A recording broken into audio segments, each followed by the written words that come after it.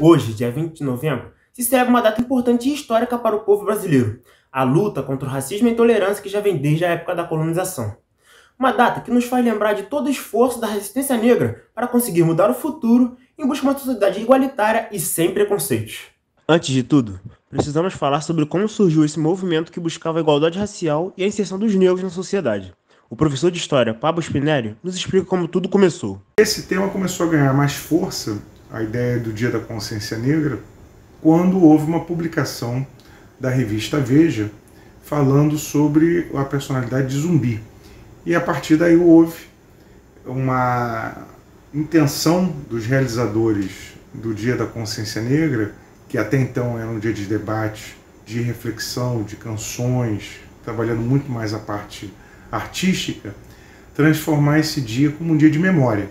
Com o movimento ganhando força por causa da má qualidade de vida e a condição precária mesmo após a assinatura da Lei Áurea, a resistência precisava de uma data que representasse a causa, uma em que fosse eternizada para sempre como símbolo da luta e oposição. O Dia da Consciência Negra surge como uma data reflexiva, justamente para que não caia no esquecimento, em alusão ao assassinato de Zumbi dos Palmares, um grande líder da comunidade negra, referenciando todo o seu histórico heróico, é, quilombola, de resistência e o seu pertencimento é, a essa comunidade e todo o seu significado. Uma data em específico do ano, separada para relembrar o início das atividades e os motivos no qual levaram seu surgimento, é de suma importância para a atualidade.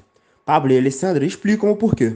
E o dia 20 de novembro, o Dia da Consciência Negra, é uma reflexão não apenas para negros, mas uma referência universal, né? uma referência cidadã, tem que ser uma experiência republicana, tem que ser uma experiência para todos. E nesse caso o foco é a cultura negra, o papel do negro na sociedade, na política, né? É, no, no ativismo social, no mercado de trabalho, enfim, nas mais variadas formas como cidadão brasileiro. É a luta pela equidade racial, é a luta por justiça, por equiparação de uma sociedade onde somos 56,8% da população brasileira, porém não nos vemos representados, em especial nos espaços de poder e de decisão. Quando temos que parar e fazer as contas com quantos médicos negros já nos consultamos, quando olhamos ao nosso redor, principalmente nas universidades, e não vemos os negros nessa representação social, quando temos que parar para perguntar quantos juízes negros conhecemos, quantos ministros, quantos quantos dentistas já passamos é porque algo não está certo. Na atualidade, quando chega o mês de novembro, canais de televisão fazem sua programação com um dia exclusivo para programas sobre a pauta da consciência negra ou com protagonistas negros. Ocorrem palestras com especialistas sobre o tema e até mesmo lives com convidados especiais.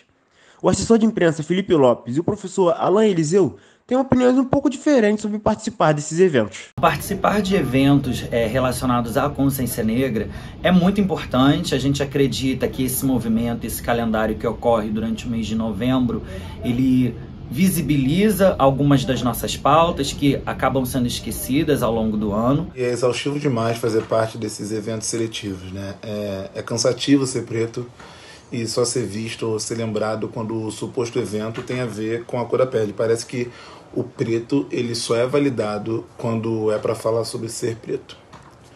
E na verdade existem milhares de pretos é, completamente competentes para falar sobre absolutamente qualquer coisa. Felipe também comentou sobre como essa temática no mês de novembro reflete em outros meses do ano. Ainda essa segmentação da pauta no mês de novembro e também no mês de março é, demonstra ainda uma segmentação desse debate, dessas discussões, que acaba por não ser contemplado ao longo do, do ano letivo ou do, do ano em vigência. A gente acaba sendo levado é, para debater essas pautas somente em março, julho também, quando a gente tem o Julho das Pretas, e também agora no mês de novembro. Já Alain declarou sobre a importância de ter essa pauta racial nas escolas e como ele começou a se interessar pelo assunto. A pauta racial ela deveria ser pauta o ano todo.